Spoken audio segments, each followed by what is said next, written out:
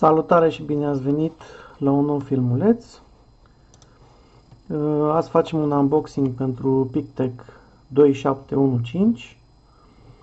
Uh, este un aparat de măsură pentru impedanța buclei de defect ZS. Uh, poate fi folosit și pentru măsura impedanței buclei de defect ZT externă și curentul prezumat de scurt circuit, uh, adică curentul care va curge în momentul când avem un scurt circuit între fază și nul sau între fază și împământare. Uh, de ce este important să cunoaștem valoarea impedanței buclei de defect?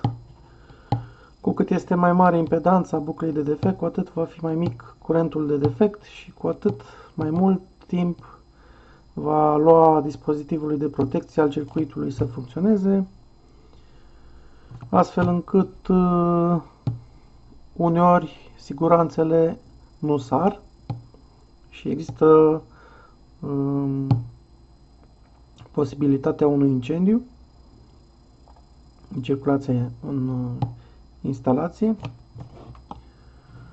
Uh, hai să vedem ce, ce avem în pachet.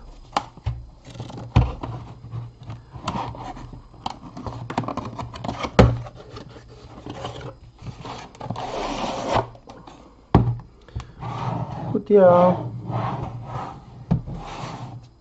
de plastic,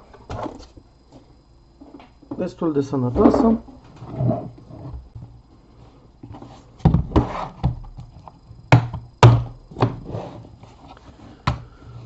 Ok.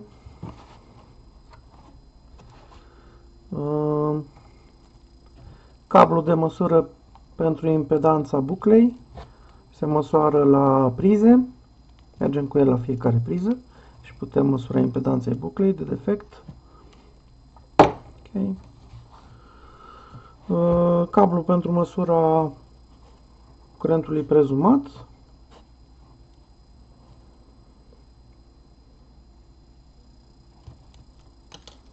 Trei fire.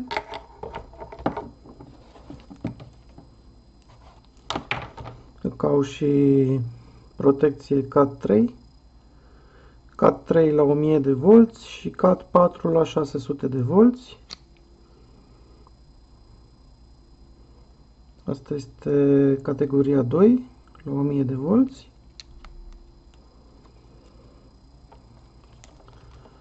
Okay. Aparatul de măsură în sine. 6 uh, baterii AA, din acelea mai groase. Eu le-am uh, instalat deja ca să-l verific dacă merge. Dacă merge.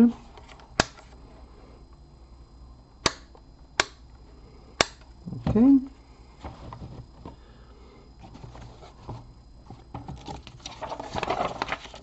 Manualul de utilizare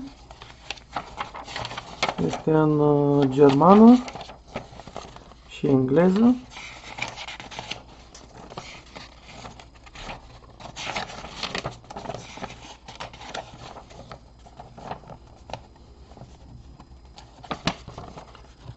Așa, și buletinul de verificare.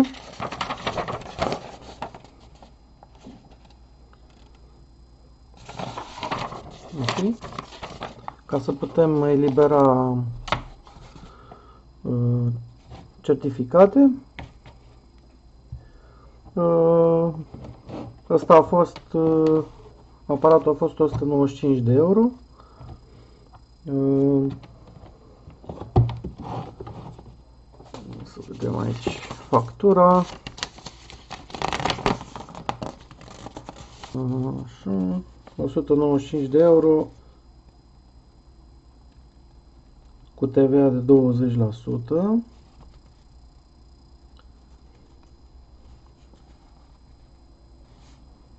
Ok. Așa, hai să vedem și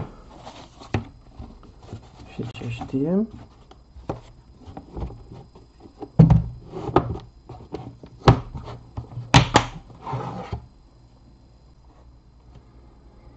Ok, am adus și o priză. Să vedem uh, cum funcționează.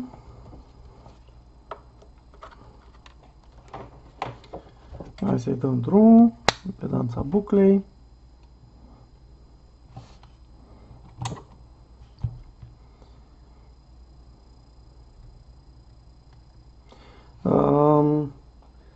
Manual spune clar că să văd cum să-l pun ca să-l vedeți mai bine.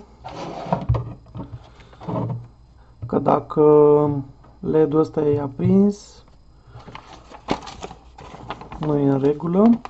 Avem și aici. Deci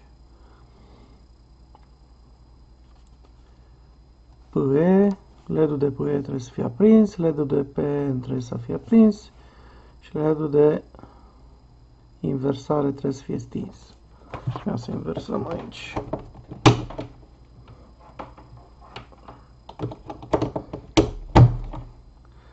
Acum devei corect. Ne arată tensiunea. La priză. Hai să vedem ce mai zice.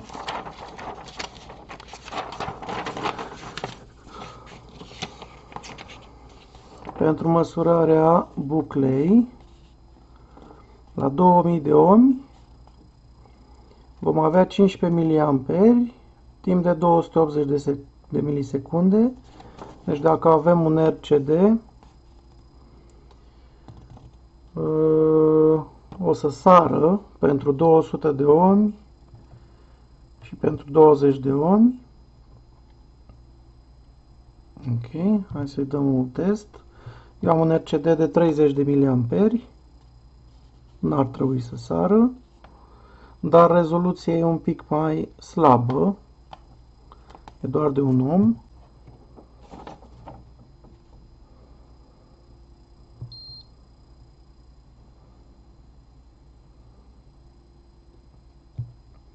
ohmi, cam mare. O să mai dăm un test. Tot 3 ohmi. Să vedem ce zice manualul. Eu am un B16 aici. Deci la un B16 maxim ar trebui să fie 3,6 suntem ok.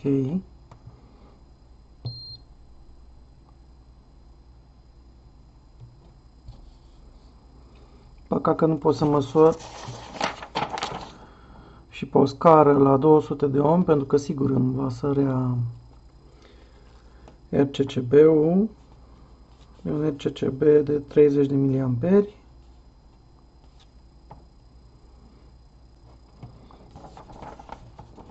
care are și lumină.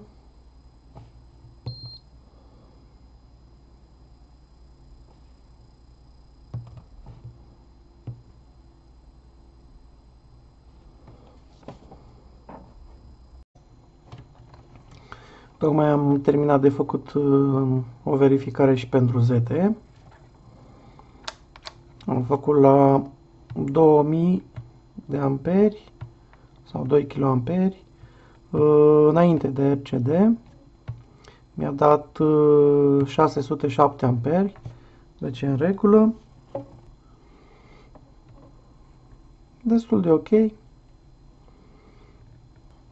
deci raportul calitate-preț destul de bun cam atât pentru astăzi